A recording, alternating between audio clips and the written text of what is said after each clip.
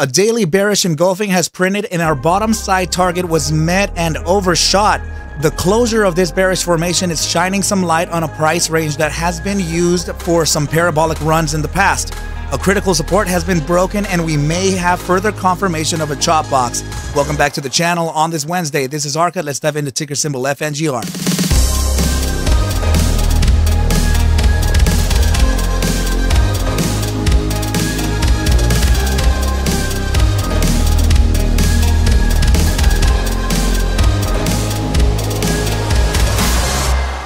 What is up, you guys, and welcome back to the channel. Let's go ahead and dive in to ticker symbol FNGR for this very, very red day. And uh, what I will, what I will say is, is that uh, remember yesterday we were speculating on a potential of having some correlation or the inverse correlation of the uh, ticker symbol SPY, which is our S&P 500 ETF, versus the asset FNGR. So please notice here that the SPY ticker absolutely ripped to the upside even further, right? So let me, wow, I know there's a, uh, a lot of things going on right here, right? So let's just uh, kind of look at this, right? So, uh, ta ta ta ta ta.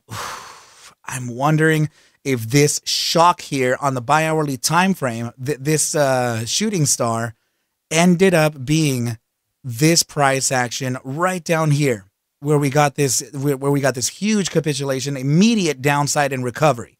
So I'm wondering if that is the correlation between FNGR and SPY.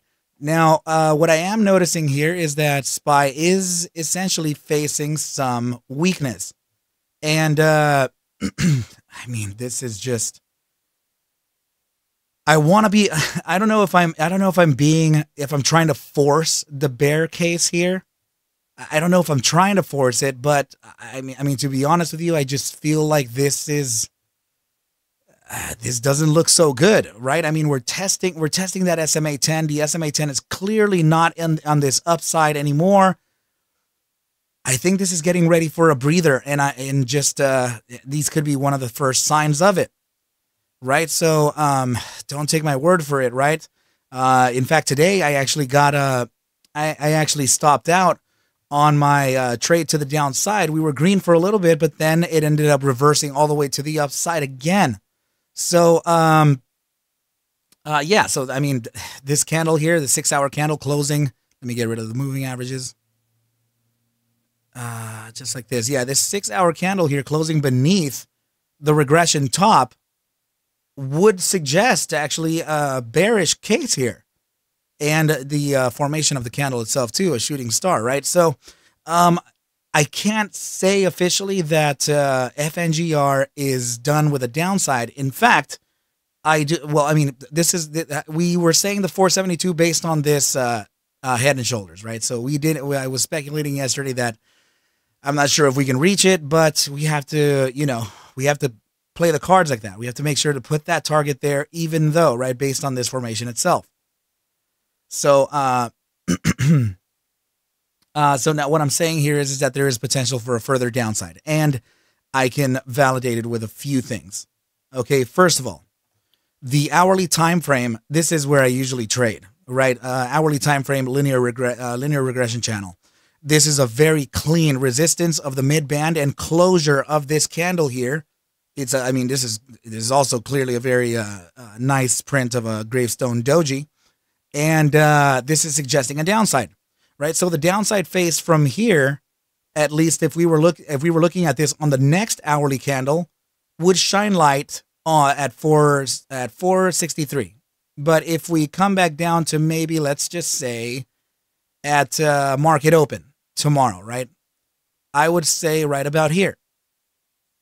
In the in the within the first hour of the market open or within the first hour and a half, you're looking at a bottom side of around 455 right? And then uh, into the second into the second and third hour you're looking at around 452 453 okay? So those targets are they're not uh, they're not random okay? We'll get to that right now. Remember those 450 targets okay? Here is the uh, hourly time frame rsi about to reach resistance on the sma 14 so the simple the 14 day simple moving average represented by the pink line here on the RSI, is located in in the uh, bear weakness percentile and specifically in its gravitational zone. So that means that the RSI signal represented by this teal line can move up, which is representing price action, by the way, right? So it can move up and resist at that SMA 14 alongside the gravitational zone and push price to a further downside. As you can see here, we broke beneath this SMA 14 and we have never come back to validate its support. It doesn't mean that we're going to have to. I'm just saying that it's typical for us to validate supports uh, or, or, or closures or breaks of supports and resistances and or resistances. Okay, so let's move on to the next chart and display here the relevance of the 450 targets. So this bottom side here, aka Capybara, 451 bottom. Now, the move that we did from there was, I mean, it was huge, right? We we made a 453 to 725 ripper. I mean, it did take uh it did take a couple weeks, but it it did happen. Now, pulling back right back over here to August 28th of this year, perfect 451 open. Actually, the low of 452. If you observe here on the OHLC, the low value right there, 452 this ran from 452 all the way up to uh, 797 right? So we have a couple we have a couple rejections here too right? Drop into this area then lift off and uh, we eventually touched 509 from 450 uh, 451 let me see this one. This was uh, 450 uh, same situation here. Opening of this candle is at 450 went from 450 to about $6.18 so I mean, I mean, yeah, there there's a there are some par- there are some parabolic bounces that have happened from this point here. Um, I will say, however, that if we start closing, uh, I would say a small, uh, small, maybe four hour closures, so small closures. Uh, I wouldn't. Yeah, I think I would have to do it with maybe a four hour. So if we start seeing four hour closures beneath that 451, uh, I mean, we would start uh, introducing the potentials of uh, 397 into 384. Okay, so, but this is a critical support that we have to take a look at. Another thing that we should observe is the very clear declining of volume. Okay, so if we're noticing volume from this point here, which is this candle here, this huge downside is actually starting to lose steam. Okay, so I mean, don't uh, don't doubt it for a single second here. Of course, we can still face some further downside. Uh, and now the other metric to give you, I'm sorry, the other two uh, confirmations of uh, a, a, next uh, support would be this. Well, simply breaking the uh, regression here, right? In that regression, you can see that we've been respecting it for quite some time, right? So breaking this regression already introduces the potential of uh, of getting in touch with the next inflection zone. So now, but uh, but before this, I'm sorry. There's three. There's three confirmation. There's three confirmations. Sorry, the breaking of the swing low. So this here was the bounce at uh, 481. We got this top side about of about 613, and then we started bouncing off of that bottom side again.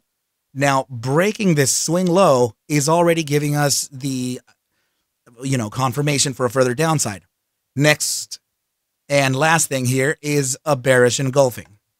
So this bearish engulfing candle, I usually like to see this formation on the top side, right? But in this case, sure, it's being printed in the bottom side. I still can't ignore the fact that it's, uh, you know, green candle back here with a with a red candle engulfing it entirely, right? So this, honestly, uh, I guess if we look at it as price action came down here, then it went up then it came down. I guess we can still sort of validate this as a bearish engulfing. Okay, so all of those things are indicating a potential downside. Now, the downside here on a bearish engulfing candle formation does not have a price objective. It's just to signal that there is further downside to be looked at. Um, in a regular in a regular trade situation without observing formations, this is a clear break of the prior bar low right? So this prior bar came down to 485. This current bar broke beneath that and closed beneath that. So that's already a clear signal, right? So, and this is why I'm thinking that on my thesis here, we can, we can, uh, with, I don't want to say certainty whatsoever, but with high probability, 451 could be one of those targets for us to observe.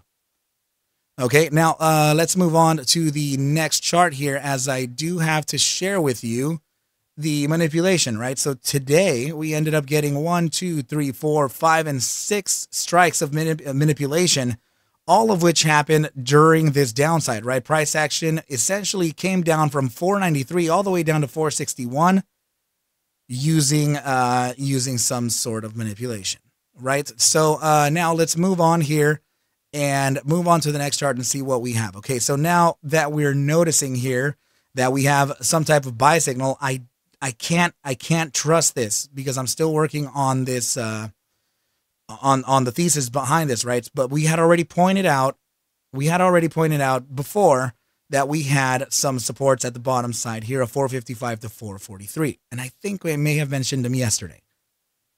Okay. So um what I can do is adjust the uh, standard deviation look back or the multiplier here to a factor of three and see if we have anything there. Okay, so th- this, you know, this feels more like it, right? So if we do have an upside, we will speculate on that and we will figure out why we would even have an upside, right? So uh, let's take a look. You know what? Yeah, we, we, we can probably figure out this upside further to, into a further downside using the RSI just a moment. I mean, it, it, may it may work. Okay, so let's go to the immediate short term. Let's go to the five minute time frame. Okay, five minute, 10 minute, and 15 are displaying a downside with a support at the SMA 14 relative to the distance, right? Same situation here with even the 30 minute. Uh, but as we jump in, let me see the hourly.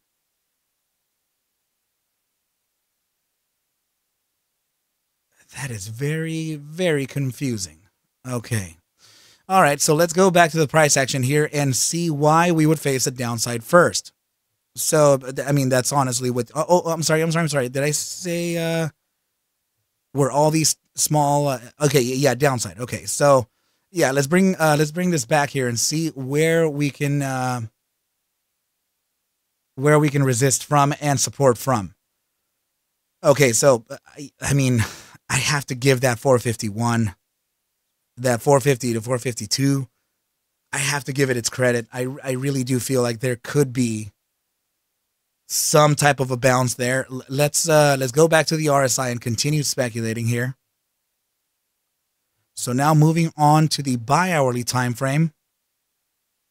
This resistance, sure, it's there, but it's also located in the gravitational zone of the bear strength, meaning that we can, I mean, we have a shot here of, of succeeding the upside of the SMA 14 if we are in that gravitational pull. I will say though that a lot of time frames are pivoted towards the downside here. And also, please, please, please notice down here on the on the monthly time frame and the bi-monthly that it's getting ever so, I mean it's getting closer right? So this compared to yesterday's analysis, definitely closer. So and and this is the uh, the uh, th- this is the threat of hopium that I uh, expressed a few days ago, and I touched on it yesterday too. So everything else is leading towards the downside, but I can see the support coming up on the monthly time frame, which means that this downside to 450, sure, it, it's definitely possible. Now, but please remember that I have an overall range, right? So the focus is 451. Let's go ahead and just put it in there. Just like this. Right? So focus is for sure uh, 451. Right? But know that the overall range is 455 to 443 with a focus of 451. Okay? So make sure, and please make sure, and it also just happens to be the very bottom side of a three standard deviation multiplier uh, volatility band, aka Bollinger Bands. Okay, so uh, yeah, team, please, please, please, please watch out with the price action as I do see a further downside coming in, but I also see some weakness on this downside too. Okay, I'm also noticing that there is a clear decline in volume here, and that usually signals that there is uh, weakness to the current trend. Okay, so uh, we will take a look at this live tomorrow as well. Okay, team. So you know the risks, you know the upsides, the downsides, and the potential upsides. Let's go ahead and uh, practice our discretion from here. Please take whatever I do show and iterate within these videos as just a form of entertainment, as I cannot suggest for you to buy, sell, or hold any assets whatsoever. I need you to do your own due diligence and everything will be cool, cool. But with that said, team, I wish you well and a very, very good rest of your night. And I will catch you at the bell mañana. Adios, team.